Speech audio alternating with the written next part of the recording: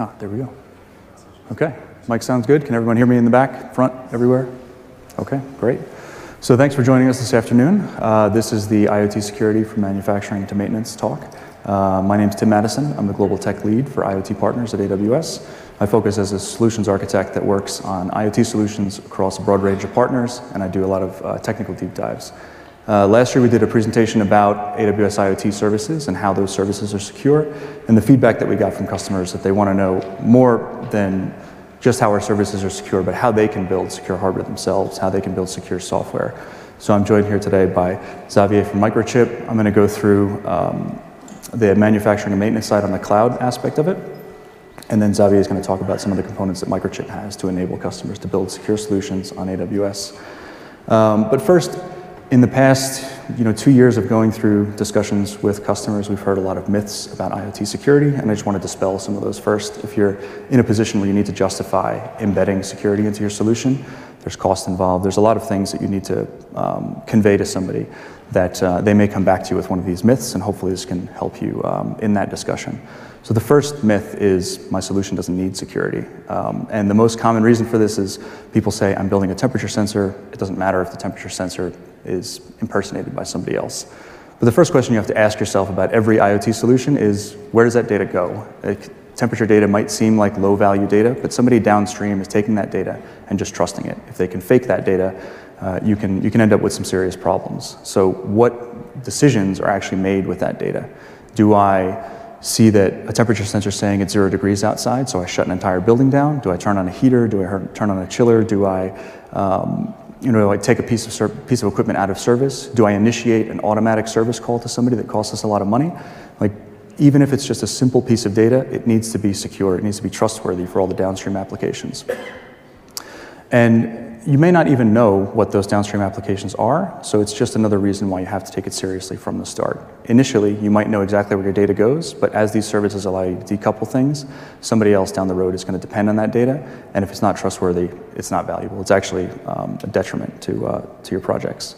You know, are these decisions important to your business?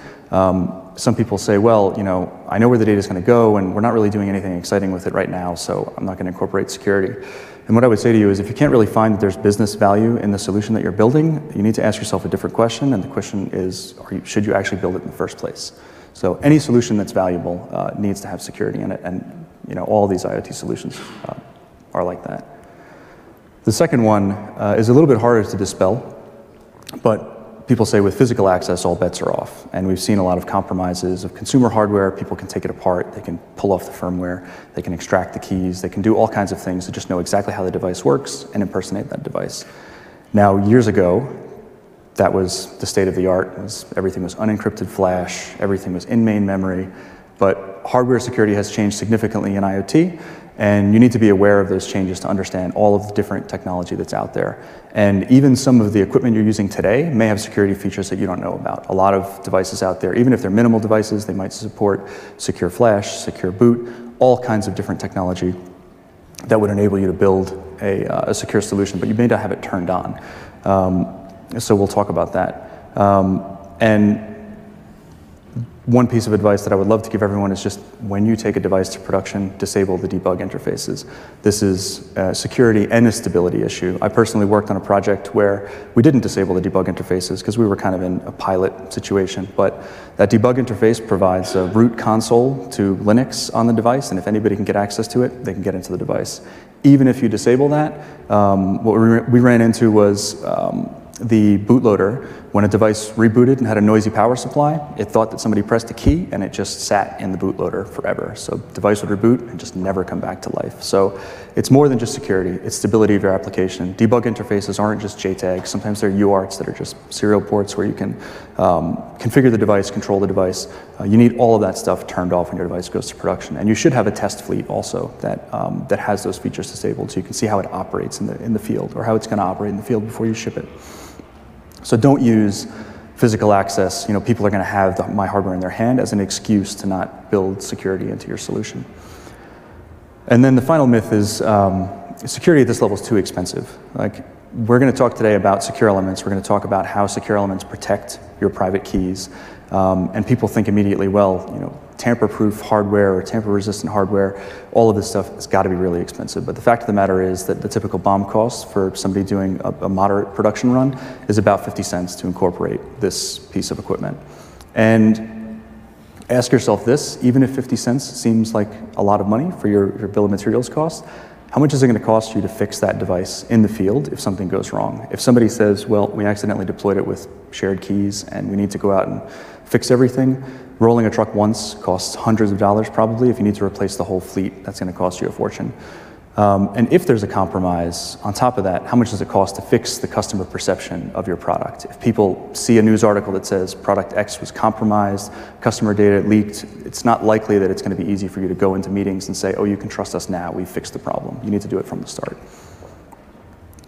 So what are we actually protecting against? Um, I want to give you a couple of, of, threats to consider, some that might, might not seem like threats, but we'll get into uh, why they are. Uh, the three that I chose are the third-party manufacturers. These are the companies that are building your device for you and kind of have the keys to the kingdom. They have your design, they have your firmware, they have all of this stuff. Um, you know, what, what can they do and what are the, the threats that, that you should worry about there?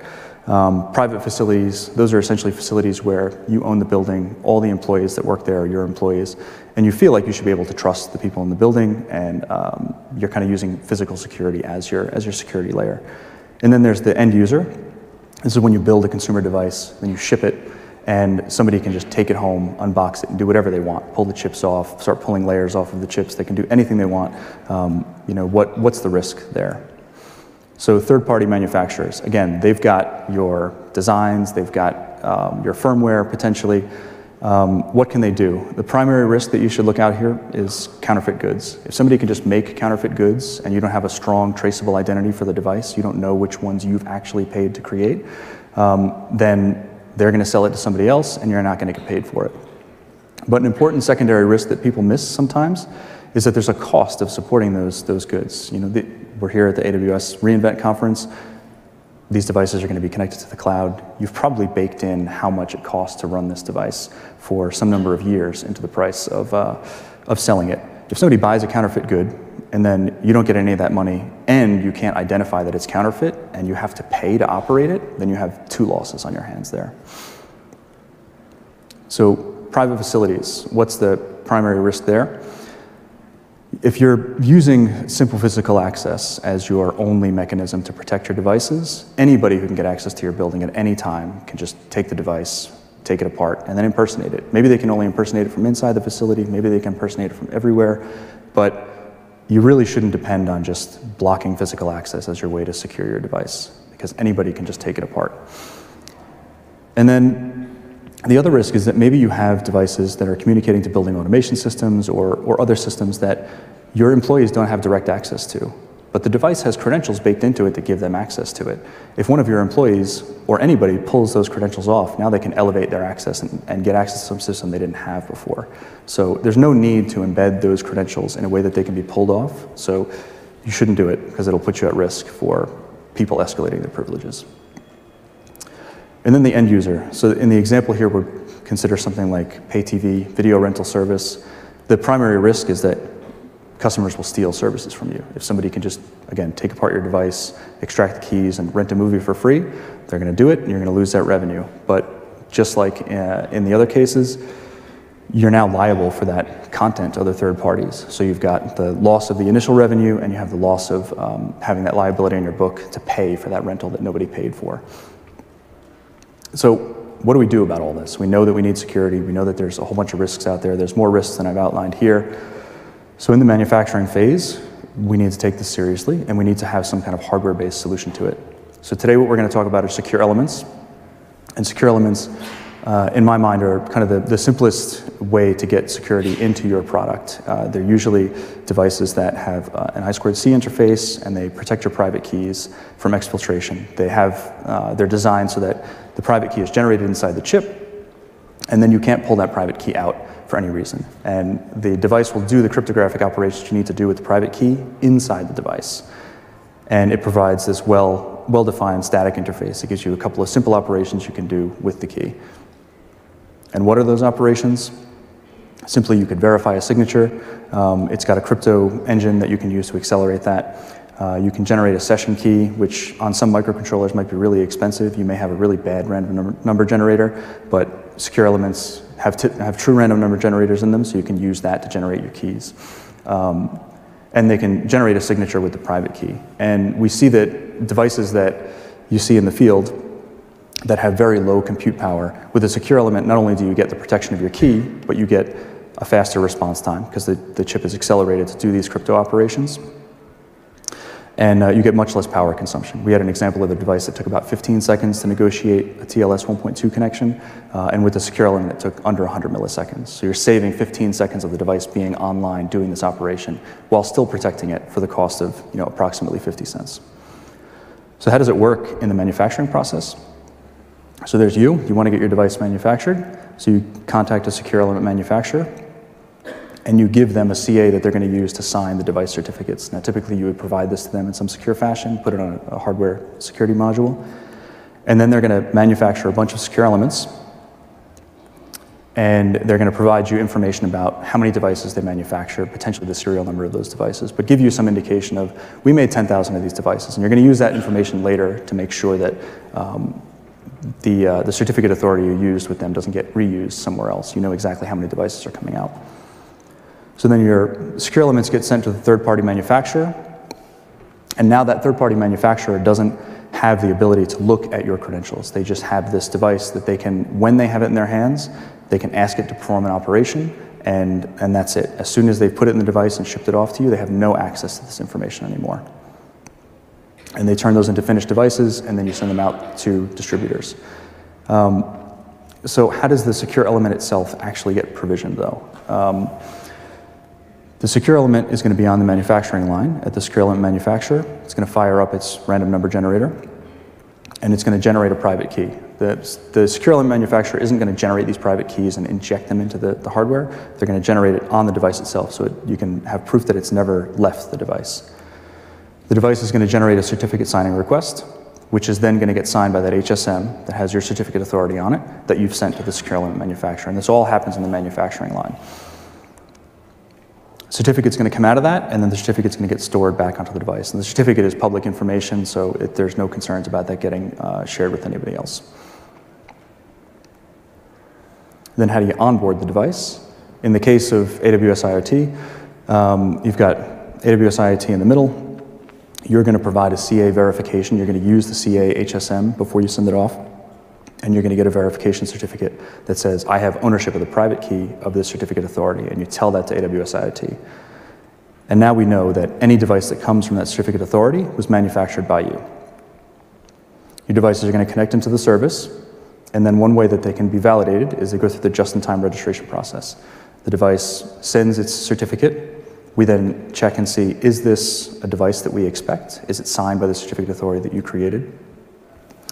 And if it is, we'll attach policies to it. We'll do all the configuration that you want um, uh, in a Lambda function.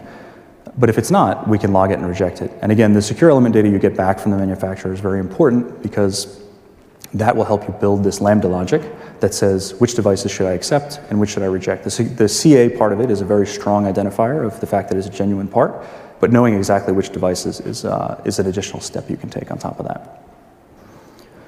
So now we've got a device manufactured, but we need some software for it. So how do we make sure that we write software in a secure way? How do we make sure that that, um, that process is, um, is secure?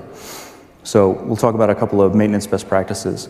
Uh, the first one is really interesting. I get tons of questions about this. Sign all firmware, even when you're in development and test.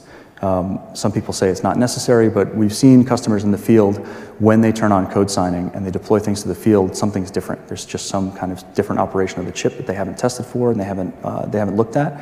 So you need to do that in dev and test. Now the keys to sign the firmware in dev and test should be different than the ones you use in production, and developers can have access to the dev and test keys. That's, that's fine, or at least the dev keys, so that they can iterate quickly. But you still need to test that feature as it's turned on, because it does sometimes change the behavior of the chip.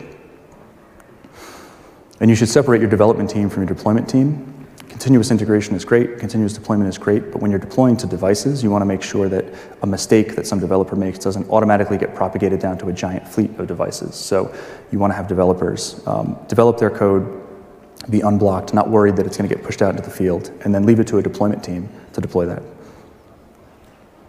And then you want to do stage rollouts of, of firmware updates. You're going to update devices um, in dev and in test, and you're going to have different environments for that, hopefully. And you're always going to want to do a stage rollout. You never want to brick devices. Uh, you're probably going to have a dev fleet that's unlocked that people are making changes to often, but you're also going to want to have a dev fleet that's totally locked down uh, so you can see how the device actually operates in the field.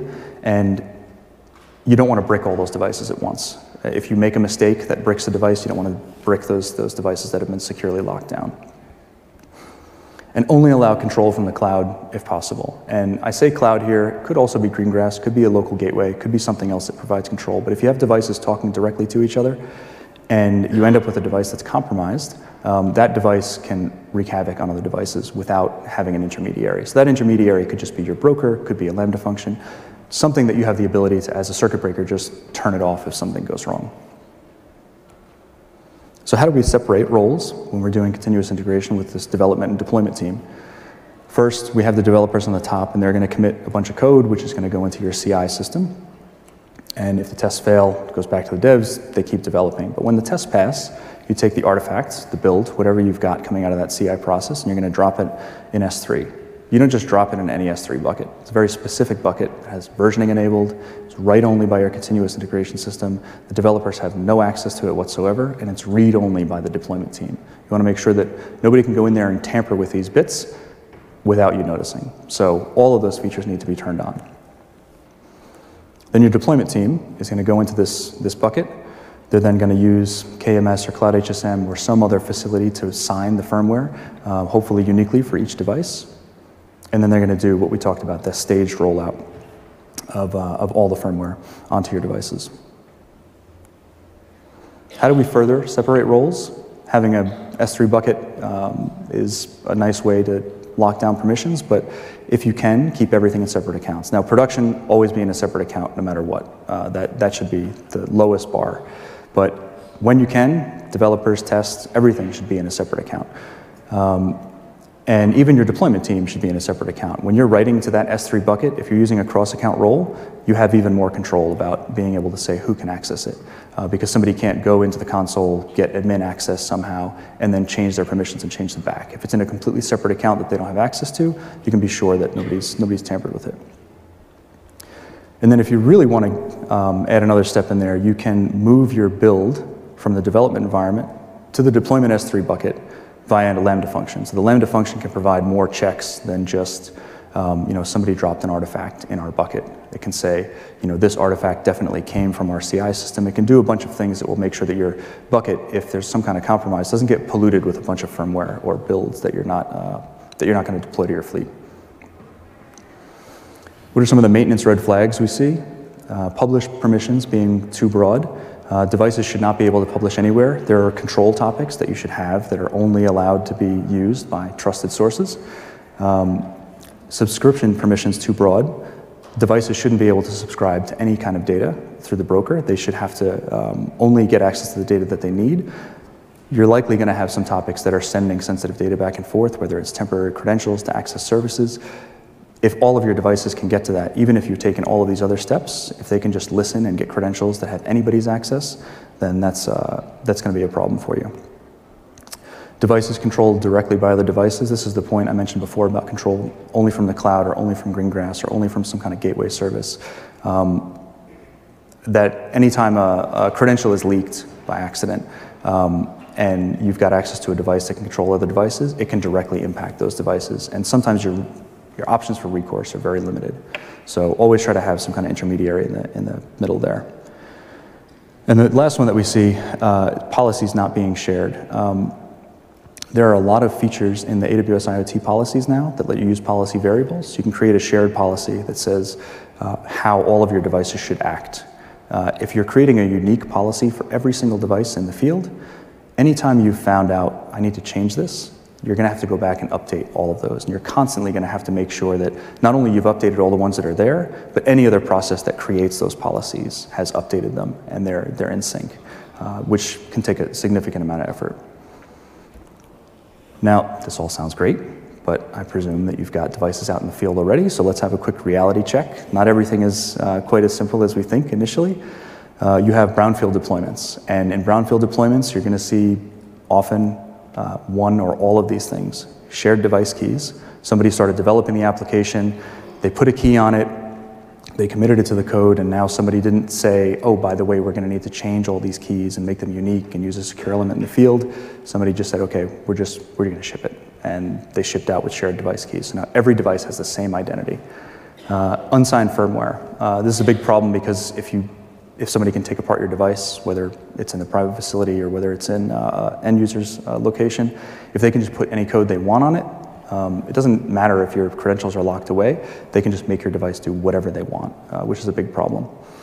Uh, some brownfield devices don't even have an OTA mechanism, so that significantly complicates things. Uh, you may be able to update some files, some configuration parameters, but maybe not the whole firmware. So um, that can be a big problem for, for users. And again, I won't harp on this, uh, but enable debug ports, this happens all the time, and sometimes they're Im impossible to turn off. So you have to come up with some kind of other strategy to, to deal with that. Um, so how do we deal with this generally? Uh, there's really no one-size-fits-all approach. If somebody comes to us and says, I have no OTA and I can't rotate my keys and, um, and I have enabled debug ports, is there anything I can do? Um, there's no simple, simple answer for that. Um, what we would recommend first, though, is splitting everything into a separate account. Have your brownfield deployment data going into a separate account, and then again, use, use cross-account roles as kind of a circuit breaker. If something goes wrong and you realize that your brownfield deployment is, um, is compromised, and you want to then make sure that your new deployment that has all these cool security features is not affected, you can just separate the two deployments and make sure that uh, it doesn't affect your, your new deployment. And then rotate certificates if possible. Um, you know, when you've got a hardware secure element, you don't need to rotate your private keys, but if you've got a device that has unprotected flash where somebody can get to the certificate information, and you don't rotate the certificates, as soon as somebody gets that information out, they can just impersonate the device whenever they want. So rotate certificates. If somebody steals a credential, at least limit the window of time that they have to use that credential in your system. So just in summary, go through good, better, best. As I said, rotate, rotate private keys, again, only if you have the kind of device that doesn't have a secure element. If you've got a microcontroller um, that has these things sitting on unprotected flash, you want to take the first step of rotating those keys so that if they get stolen, they minimally are they're usable for a minimum amount of time. Disable your debug interfaces. As, as I've said many times before, those debug interfaces, they provide a route into your system and they also provide um, sometimes fault injection. You just see strange things happen because those debug interfaces are um, you know, receiving bad data from somewhere. So you want to make sure that those are always, always turned off and locked so that they can't be turned on. But the best thing you can do is avoid having your private keys in main memory. There are a lot of ways to do this, trusted execution environments, um, but secure elements is what we're talking about today. And Microchip has, um, has a secure element solution that we would like to talk about. So Xavier is going to tell you how the Microchip solution enables AWS customers to avoid having their private keys in main memory and build strong IoT solutions.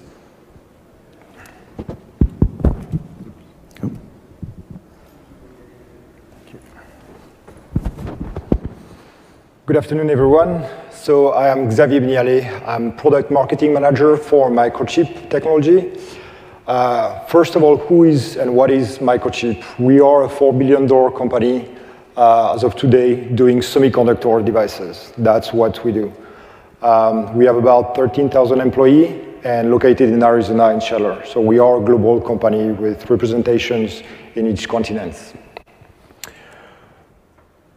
Uh, Tim has talked about a lot about secure elements, so we're going to go right into it and look at what this secure element is, is made of. So there are a couple of key blocks. Um, the random number generator was mentioned several times. And when it comes down to cryptography, it is the most essential piece in cryptography, meaning security. The better the quality you have in the, in the random generate, number generator, the best your security will, will, will be. Um, another important component is the memory zone, because that's where keys and certificates will be stored, and we'll get to how we protect it. And then you have the hardware-based accelerators, depending on the, the, the objectives of your, uh, of your system. We'll have elliptical curve, SHA, AES-based uh, crypto accelerators. Now, how do we protect all of that? We have an anti-tampering layer uh, that protects against physical attack, as well as uh, side attack tunnel protections, right? So it basically is an 8-pin device, an 8-pin device that talks over I2C or single wires to your main microcontroller. How does the device talk to the microcontroller? We have something called CryptoAuthLib library. It is a library that is used in the microcontroller that has all the low-level commands to uh, talk to the secure elements. It also has a hardware abstraction layer inside the library to allow us to easily develop software on top of, uh, on top of that layer. So what does the, the, the secure elements uh, defend against? That's a lot of uh, physical attacks. We can go on and on. We have a couple of examples here, such as, uh, such as microprobe attacks, timing attacks, we've got emission analysis, and so forth and so forth. What is the, now what is the secure element value proposition? There are four main concepts that we articulate to our customers. The first one is to isolate private keys from users. It's common knowledge in, in security that you, me, or family are the most unreliable, unreliable factor in security. So we want to isolate manipulations of keys and certificates from us, the, from, from the users of the system. The second concept is to isolate keys from software in itself. Software is software. It grows, it's expanded, and it has bugs that are being fixed by patches. So one of the examples where, where how you guys on, on the IT industry fights um, um, hacking is to push patches every hours, half days, or once, and, and, and, and um, yeah, every, every hours or, or half days or whatnot. It takes, there's a general rule of thumb that says it takes about three days to an attacker to get into a system, come back, and after leaving or stealing the, uh, leaving a, a, spyware or malware, or stolen the, uh, the property that he was targeting. So by fighting that by the hour, it empowers you to, uh, to, to mitigate that issue. On the IoT hardware side, how long is it going to take to push such a patch from us, the manufacturer, to our customers, to the end customers, to ripple down to the users inside our houses. It's not going to be an hour, I guarantee you that. So that's one of the first weakness. The other thing that's happening in that case, once a company releases a patch, you obviously says what the patch is fixing. Is, is fixing. So if you've openly said to the attacker where the weakness is, if that weakness is affecting certificates and private keys, now we have a bigger problem. So isolate private keys from software. The third concept is to isolate manipulations of uh, credentials during uh, the manufacturing uh, phase. With the phenomenon of globalization that, that or, or, or we, are we are going through, contract manufacturers are often overseas, and you have two factors. You have the equipment in the factories, and you have the operators, again, that human factor. So we need to remove exposure of those credentials, the private keys, uh, from those, uh, from, those, um, from those attributes. And the last point is to isolate keys from the microcontroller. Like said, Tim said, don't put the private keys in, in the flash of the memory. Um, we've seen an attack, I've read about an attack last week where usually for, I think it's about a couple of hundred dollars, you would be able to send your IoT hardware to a company overseas that would give you the hex file. And if the hex file contains the private key, you have your firmware completely exposed, your intellectual property completely exposed. And then we can talk about uh, firmware authentication and, and all the type of features. But then what's happening, once you have control of that firmware, what the person did, they put a spyware, that was, I think it was a thermostat or, smoke detector, and then you place it back on eBay, and then you and I are going to buy that thermostat with a spyware on it without even knowing it. And we don't even know the scale of the, the attack the spyware can generate. That's real world we are here today. So how do we mitigate all this? We recommend a customer to create a chain of trust.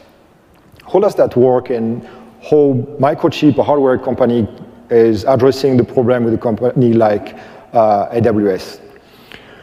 So the first step is for the customer, you, to start generating from a root of trust an OEM certificate. Then you open up the, the AWS account.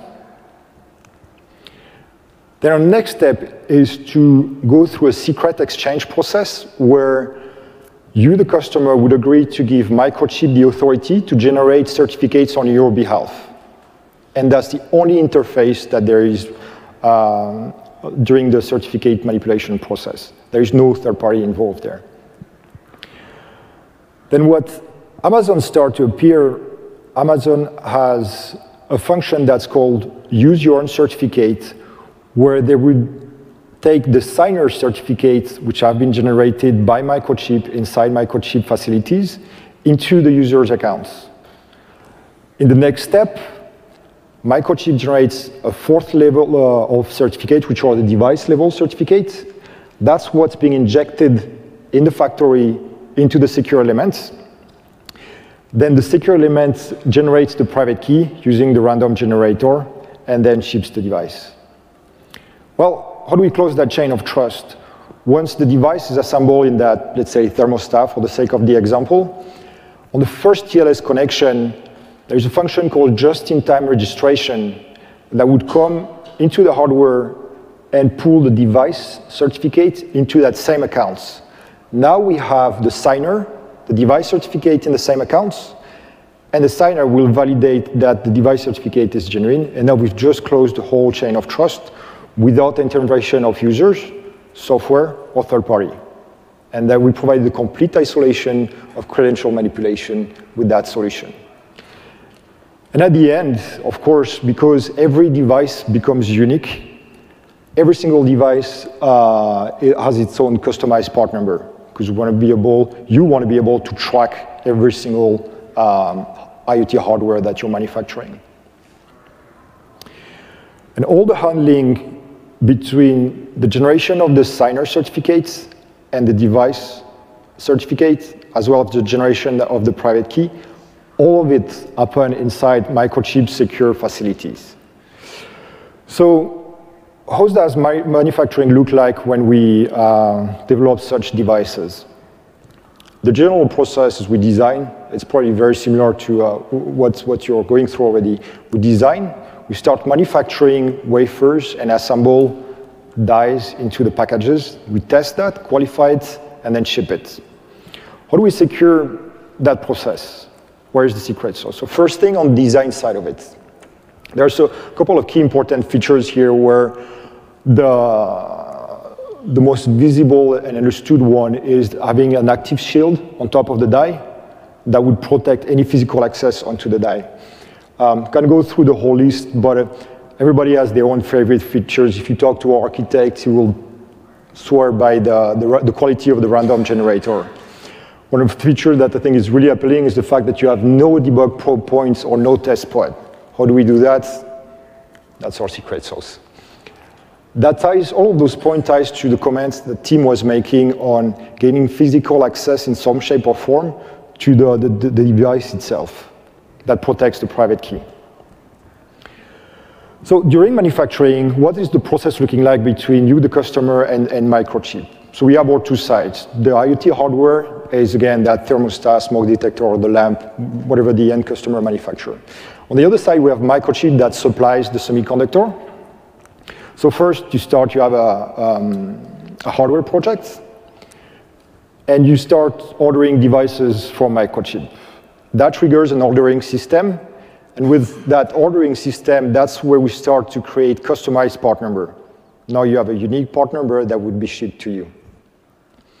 Then we go into that secret exchange phase between you, the customer, and my Microchip, and that's where um, the process starts to be connected to our secure factories. What do we have in those secure factories and where are they secure? We use HSMs, hardware secure modules.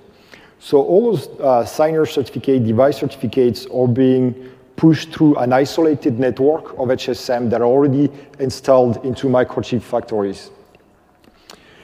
The next step is we ship the devices to the production plants of, of the customers. Here, the important thing is there is no third-party exposure to the certificate and private key manipulation. That is the essential piece of it.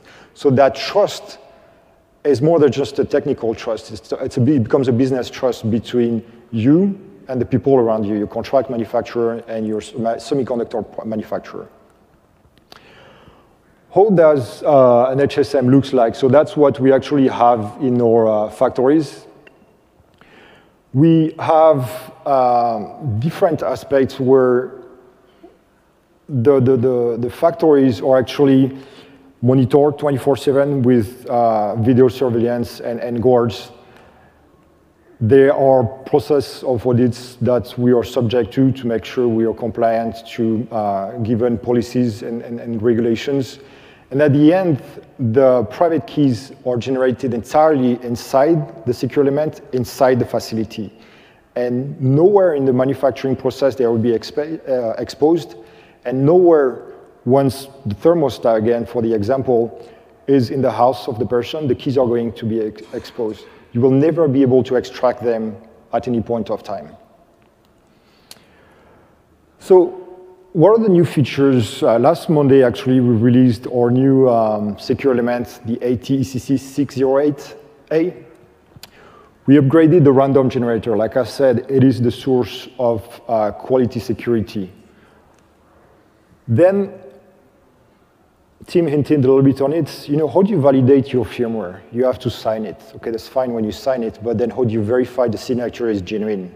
So we have secure boot capabilities, and the idea is to place the public key that corresponds to the private key this time. And that public key lives inside the secure element. So you want, again, to isolate the entity that will verify the authenticity of your firmware. Okay? So there are, there are special commands within that crypto library that allows you to, uh, to do that verify function. The next uh, function is the AES acceleration to be able to encrypt the packets that are going over the, the communication lines. The fourth new features, new main features, there's quite a bit of them, it's the, the KDF, the key derivation function, some entity. So from a master key, you're able to generate inside the device secondary keys that are dependent from that master key. Another important, uh, I went a little bit too fast, uh, another important, that KDF function will be uh, necessary for TLS 1.3. So we're already preparing for the next generation of TLS. And then one of the questions we had, uh, that's actually uh, an important feature here too, is how about if I move my secure element from one existing system that's genuine to a counterfeited microcontroller? Well, this function addresses that. It pairs uniquely the microcontroller and the secure element one by one. So you have no way to change the secure element to a new system and try to fake the, the, the communication that way. And that concludes all the main set of features into our new generation of uh, secure elements that we use and demonstrate to connect uh, to the AWS IoT service. On that, I will give the presentation back to Tim, and he will conclude.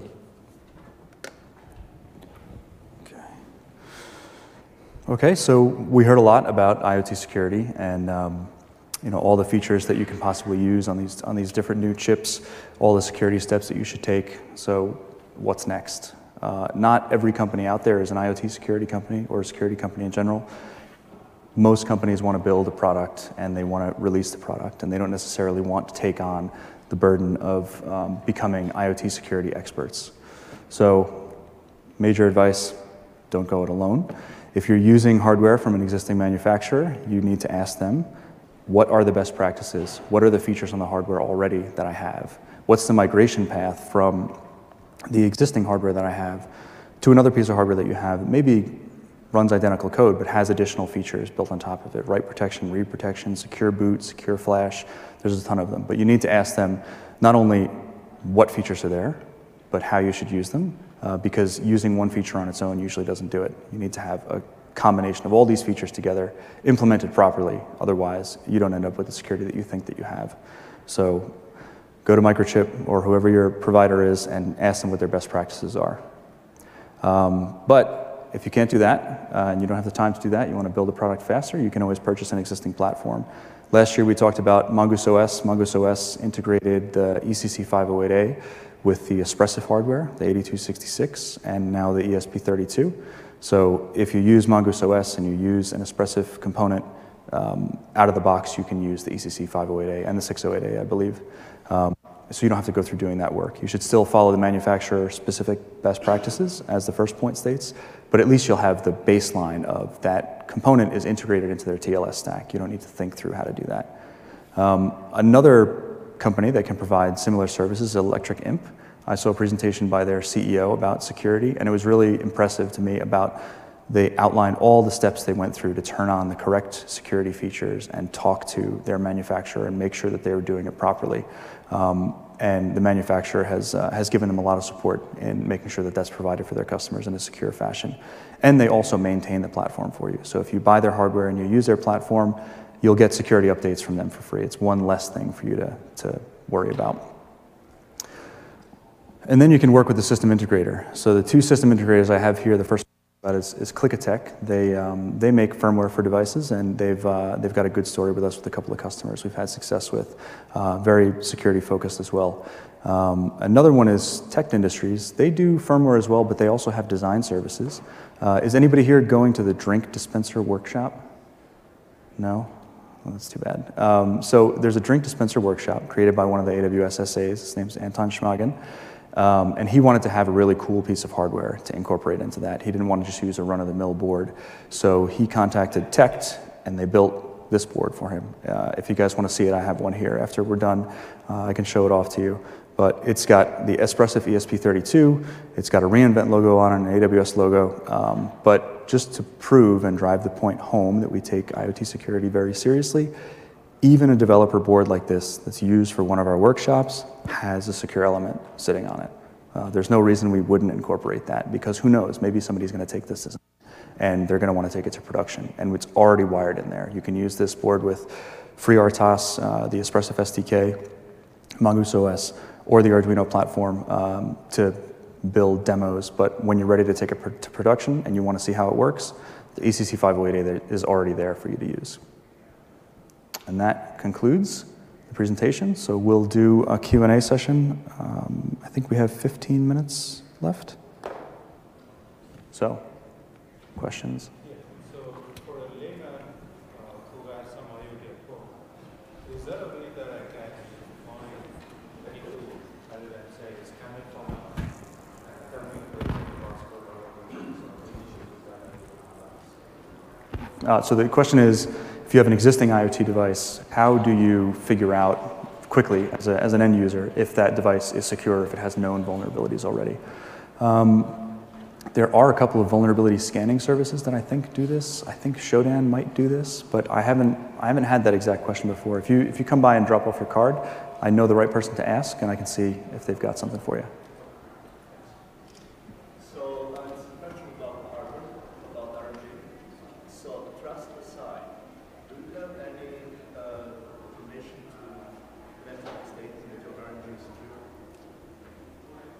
Uh, the question is, um, how do we know that the RNG is secure? Like, there's plenty of pseudo-random number generators out there. What makes a TRNG different, um, and how does it work, essentially? So, um, there's a couple of um, ND aspects to, to that.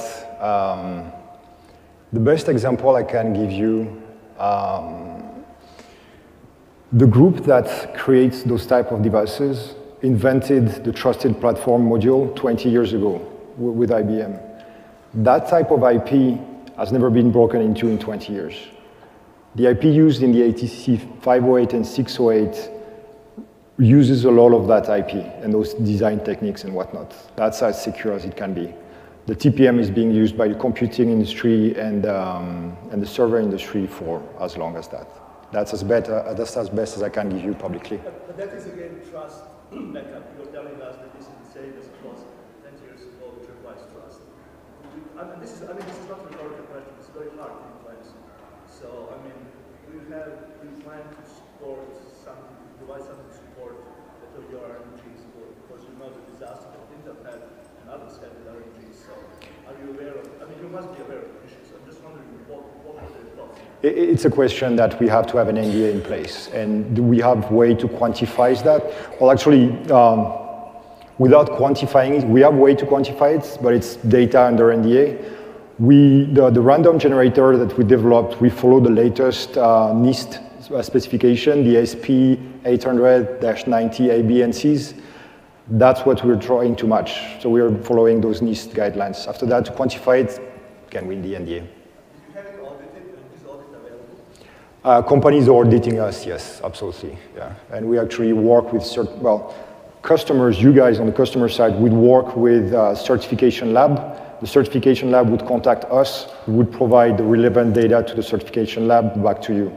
Again, there's uh, an NDA process in place. Certification people have access to the metrics and everything. So, sorry, I couldn't hear you. Certification lab has access to your metrics and everything. NDA again.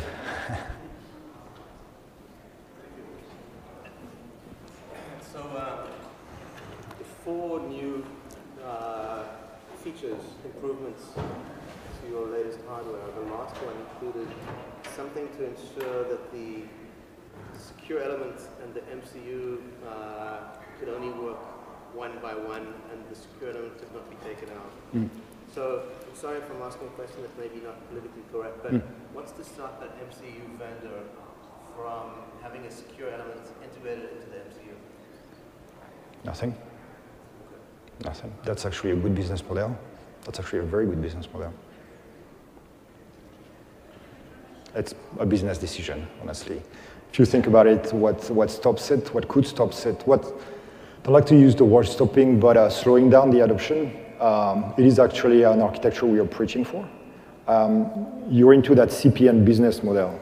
So now you talk about uh, shelf inventory per quarter that could impact your P&L across time. That's what it is. So you have to have a well polished. But we do work with actually uh, not necessarily microcontroller, but um, mo- module makers uh, that are doing something close to that. Anyone else? Okay, well, thank you for attending. Um, if you have any more questions, you can find me off stage. I'll be at the, uh, the speaker party tomorrow, I think, so if you got more questions, you can find me there. Um, thanks for attending. Thank you.